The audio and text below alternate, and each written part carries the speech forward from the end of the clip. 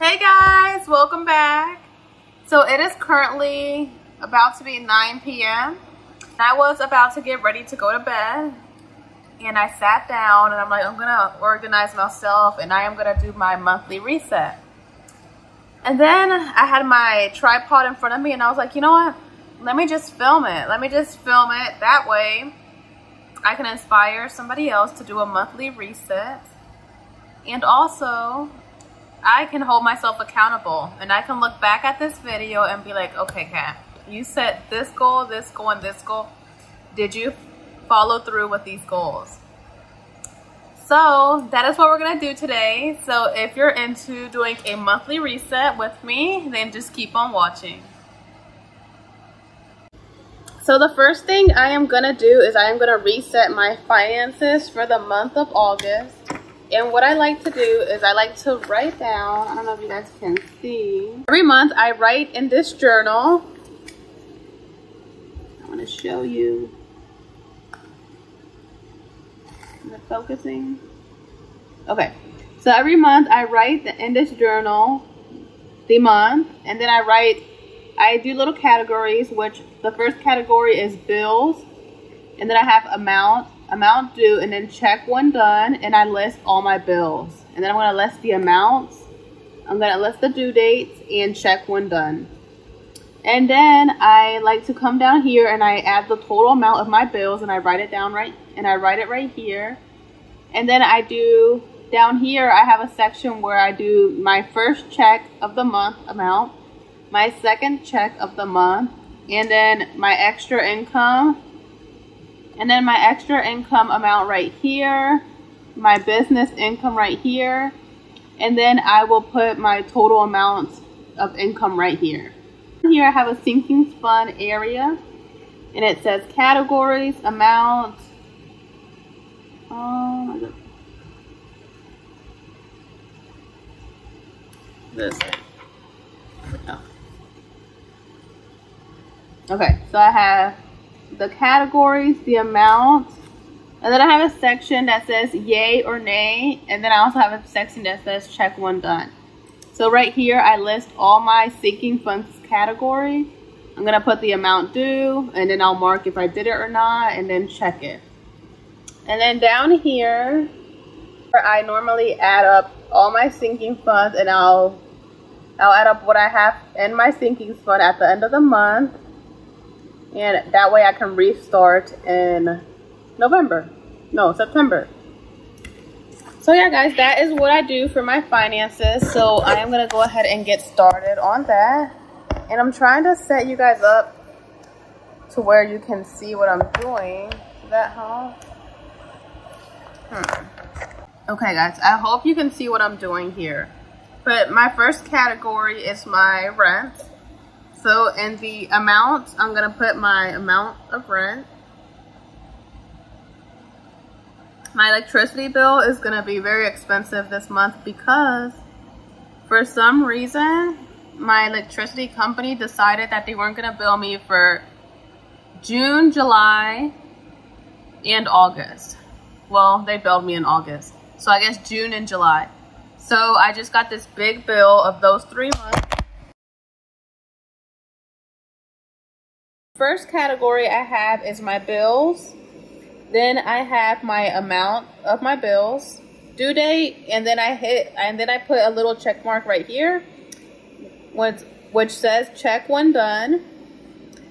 And then I list all my bills. So I just have my regular bills, rent, light, cell phone, tie, tie, rent, light, cell phone, tie, credit card, car payment, gas car insurance, and gas. And then over here, I write my total amount. I write my total amount of my bill. I write the total amount of my bills. And then down here, I do a little section for my first check of the month, second check of the month, uh, my extra income, and my business income. And then over here, I have my sinking funds, which is like the fun category. So what I do here is I do the same thing as up here.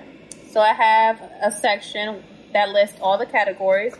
So the first section says categories, amount, yay or nay. And what I do with yay or nay is I literally just write yay or nay to whatever sinking funds I did it I did get to or I didn't get to during the month.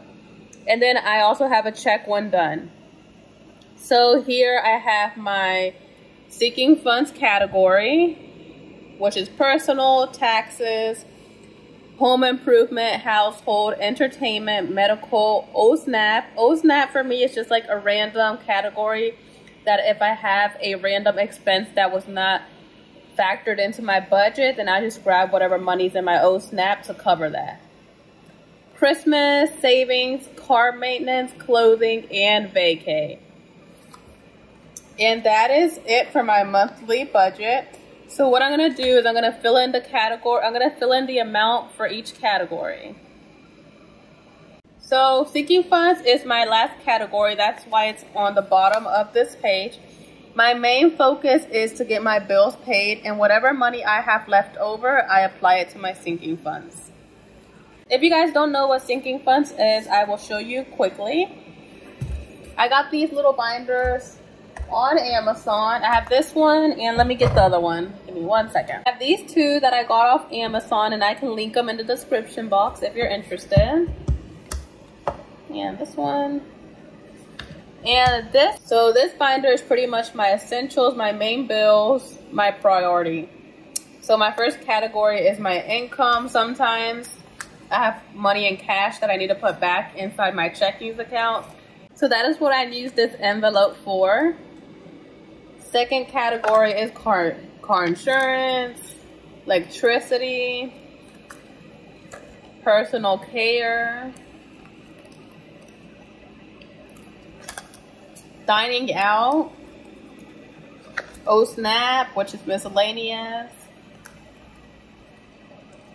cell phone, household, my rent, food, entertainment, and clothing. And lastly, yeah, that's so the reason I put money into these little envelopes instead of just swiping my debit card is because with these little envelopes, I can control how much money I spend. And but with my debit card, I would just be swiping away and I would be spending more than I need to. So when the money runs out of this envelope, that means that my spending is done. I cannot spend anymore until next month. And I also love these little envelopes because if you get paid bi-weekly, you can put some money from the first check, money from the second check, and by the end of the month, you are set. You just pull the money out and you make your payment. No need to worry. And this binder came with these little envelopes with these stickers to label them. The other stickers I ordered on, on Amazon because I had ran out. It only comes with like 12 stickers and I needed way more than 12 stickers. But, and it comes with these little, with these little budget sheets where you can um, date what you're putting in or you can write the description, the amount if it's going in or coming out, and the balance of each sinking fund. So that's this one. And then my second one is, this one gets a lot of love, you guys. Clearly, I've, I've been using this one a lot. So any extra income that I get from work, I do get a paycheck, but I also get cash tips sometimes. So any extra income that I get from work, I add it to this one. And I just recently went to the bank and deposited the money that was in here, which was $599 um, because it was just getting way too big. Once these envelopes get big and bulky, it's really hard to, to close.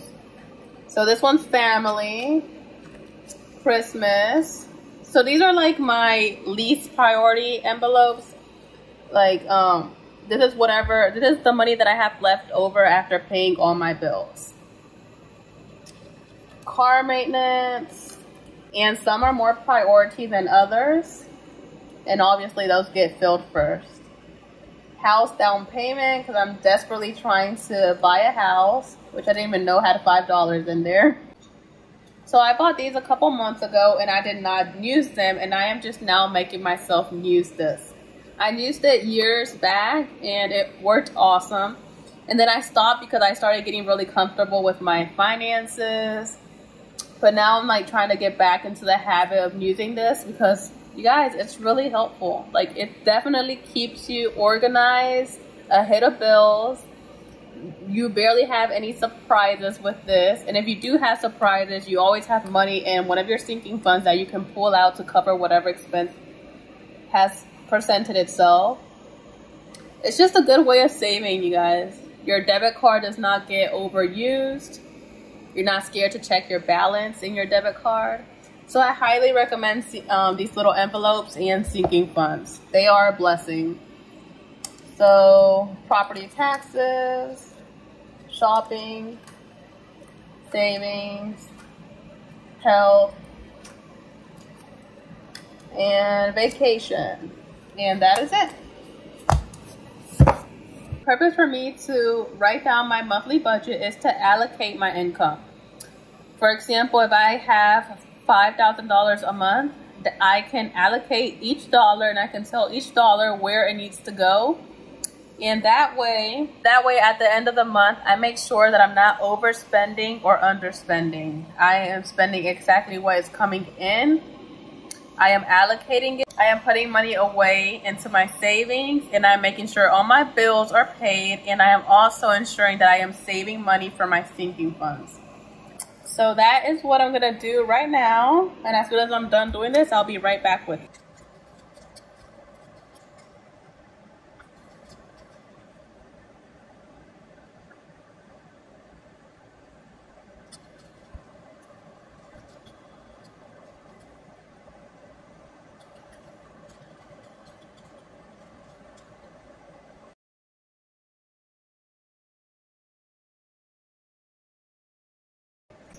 And that is it for finances. Very simple.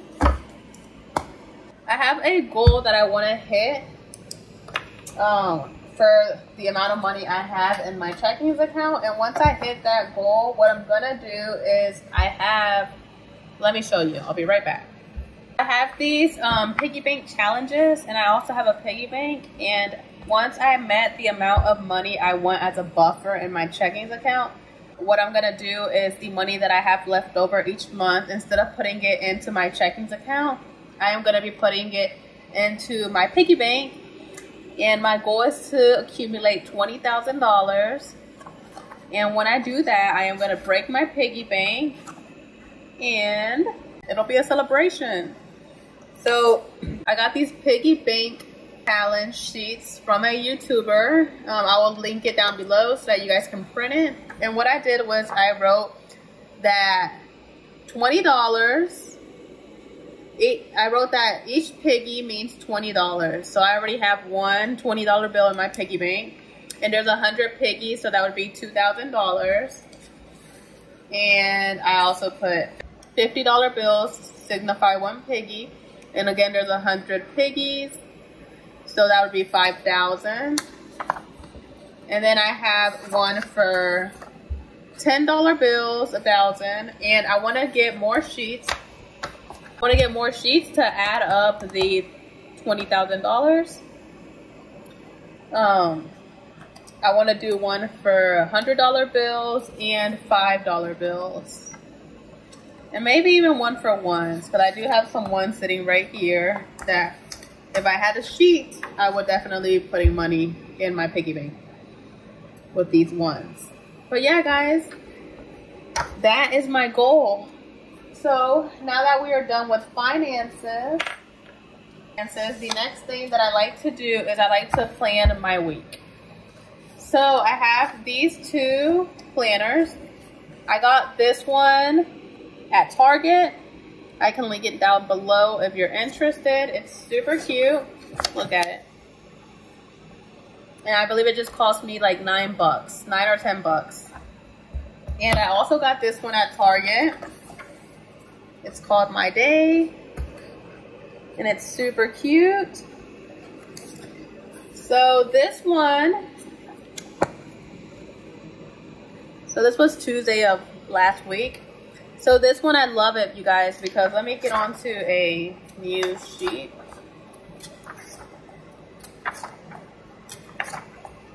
Okay, I love it because you can like actually, let me see it'll focus.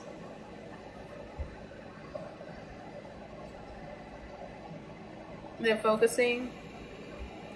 I think so.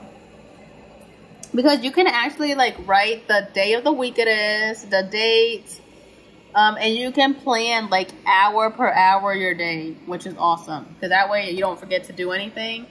Your top three focuses, personal goals, to-do list, notes, and everything else goes down below. So this is awesome. I love this thing. I can just take it with me and I can check off each thing I accomplished each day. And then this one is like a, this one is a planner to plan out your whole week. So what I do is I just write out what it is that I need to focus on this week. For example, if I want to get three YouTube videos out this week, this week, I plan what days I want to film and what days I want to upload. I also like to use this to make sure I stay on track with my Bible study. I am currently working on the book of Jeremiah. Before I go into my Bible study, I like to read the chapters I am going to study the night before. That way, when I wake up early in the morning, I can just jump into the study. And then after I'm done with the study, I like to read the chapters for the following day and get ahead. So that is what I do. And my goal is to finish the book of Jeremiah this month. So let's see, let's see. I'm filming this video to hold myself accountable. But yeah, guys, that is what I'm to do right now. I'm to write out my week.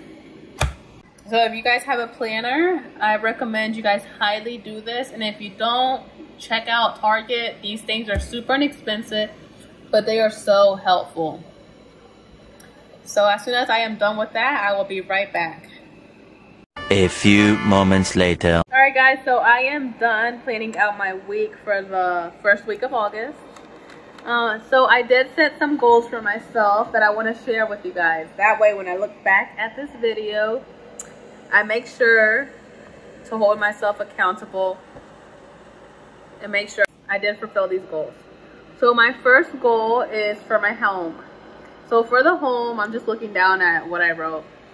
I want to deep clean some of my rooms. I do have a three bedroom mobile home and I have two and I have two empty bedrooms that I do not use. So what I do is I fill them up with everything that my business needs and it gets crazy in there. So I want to declutter, throw away what I don't need, keep what I need um, take inventory of what I have. That way I'm not overbuying. And just organize everything so that everything can feel light and airy and not so like cluttered and congested. So that is my goal for my house. The next goal I have is to empty out one of those rooms and turn it into a prayer room. You guys, I am so excited to do this. I've been waiting forever to do this. And the only reason I have not done this is because there's some stuff that is in there that I don't believe combining it into another into one room is gonna work. It's like so much stuff that I'm not sure I can make it all fit into one room. But I'm gonna focus on that this week. I'm gonna plan, I'm gonna figure out how to do it because like I am desperately wanting a prayer room. I need a prayer room. Like God deserves a special spot in this house. So that is my next goal. My third goal for, for the home is to plant my lemon trees. I bought these beautiful lemon trees, um, but I need to put them in vases because where I live here in Virginia, it gets cold in the winter, so they cannot be planted in ground because they'll die. So my goal is to find a really, really, really cute vase and put them in that vase and just bring them in in the winter and bring them out in the summer. So I need to do that. And that is it for the house. little things, you guys, little tasks. Next month, I'll tackle some other issue here in the house. I'm sure I'll find one. So for work, my goal is I set myself an income that I want to hit this month. Um, so that's my first goal is to hit that amount. My second goal is to save a certain amount. And if you guys want to see me like cash stuffing my my sinking funds envelopes, um, let me know down below and I'll be more than happy to film that for you guys because I love watching those videos on YouTube. So if you guys want to see that, just comment down below and I will do that for you guys. And we can go in depth on how much I make and how much I save and all that. My next goal is to start paying big chunks of money to my car payment. I have a goal, you guys, and I want to pay this car off in April. So that's my third goal. And then for work, um, for YouTube, I'm gonna set myself a goal to film, to upload three videos per week. And it's gonna be hard, you guys, because you all know that I have my full-time job.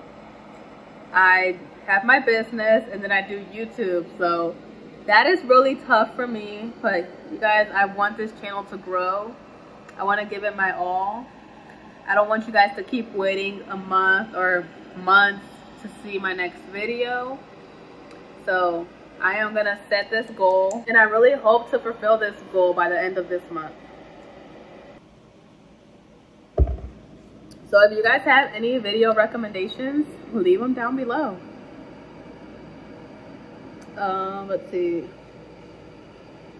So I want to cut off unnecessary expenses, which is like eating out when I buy groceries, buying more plants. You guys, I have a weak spot for plants. They are my favorite. So I bought a lemon tree last month. I bought a lime tree, a raspberry tree, a rose bush. And I, and I believe that's it.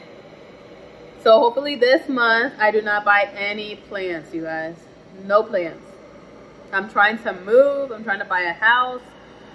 And if I keep planting, planting plants, I'm not to be able to take, to take them with me. So I just need to wait until I buy my own house and then I can go crazy with the plants. So my, my next goal, you guys, is to become debt free from all my credit cards. Well, I only have two credit cards. But from those two credit cards by the end of this month, which is really exciting because it's going to free up a lot of income and I can throw it to my car. I can put it in my sinking funds. Gonna be exciting. I'm excited for the month of August. And the last thing I wrote is to start adding money to my sinking funds envelope consistently this month. So like I told you guys, I had stopped for a couple months, maybe a couple years. Um, but I want to pick up that habit again and be very disciplined with my finances starting this month. I just got back from vacation, so no excuses to be overspending. We are to buckle down this month. And then let's see what else I got. Oh, and for my personal goals. My first personal goal is to finish the book of Jeremiah. I am doing a in-depth study of the book of Jeremiah. So I definitely want to finish it so I can get into the next. I want to give it my all. I want to give it my, all my attention and do like a deep dive of the book of Jeremiah. That way. Sorry guys, my battery just died. So I had to go charge it. But we are back. So like I was saying, one of my goals is to finish the book of Jeremiah.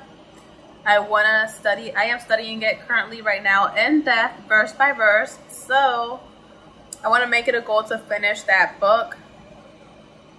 That book is pretty long, so it's going to be a challenge, but I think I got this. Can't wait to start the next books and finish the whole Bible. I love the book of Jeremiah, you guys. Like there's days where that book literally just makes me cry. Like Jeremiah's heart is so pure. He's so amazing, you guys. Like that boy went through so much and he still managed to fulfill God's will through all his suffering. He still managed to fulfill God's will, which is incredible, you guys. It's it's hard. His you guys, if you have not read the book of Jeremiah, I highly, highly, highly recommend it. I love that book. He's one of my favorite prophets in the Bible. And the reason he's my favorite prophet is just because of his heart. You guys, his heart was so pure. He had such a big calling at such a young age. And he did it, you guys. He fulfilled his calling. And I'm sure when he passed and he went with the Father, he heard, well done, my good and faithful servant. So I just, I love that book. Read it if you haven't already.